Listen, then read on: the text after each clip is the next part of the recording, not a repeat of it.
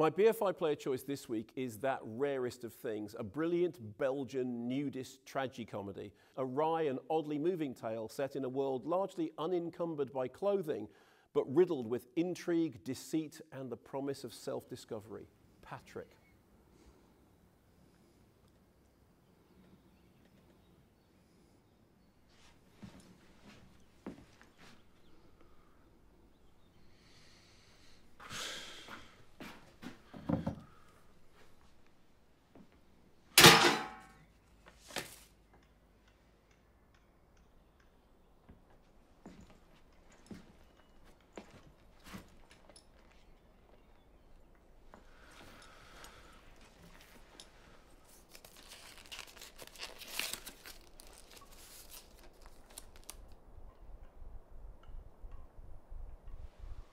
On a remote naturist campsite in the Ardennes, handyman Patrick, played by Kevin Janssens, worries over the loss of his hammer. Patrick's camp owner father Rudy is dismissive, convinced that his son has simply been careless with his possession. But when Rudy dies and Patrick inherits the camp, his desire to find the missing tool becomes an obsession. Some think Patrick is simply projecting his grief. Others are conspiring to take over the camp.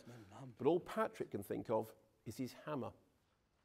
Director and co-writer Tim Mielants, a veteran of TV shows including Peaky Blinders and Legion, took inspiration from a 1985 stay at a naturist campsite in the Pyrenees where it wasn't the nudity on the campsite, but the odd encounters with the strange individuals that stuck in the director's mind. The same is true of the film, in which nakedness becomes merely a costume, and the real focus is on the internecine struggles within this cloistered community. Just as the cast ranges from acclaimed stage and screen actor Pierre Bokma, the Derek Jacobi of Dutch drama, to New Zealand comedian and musician Jemaine Clement, so the tone of Mielants' film shifts from sadness to absurdity in an instant.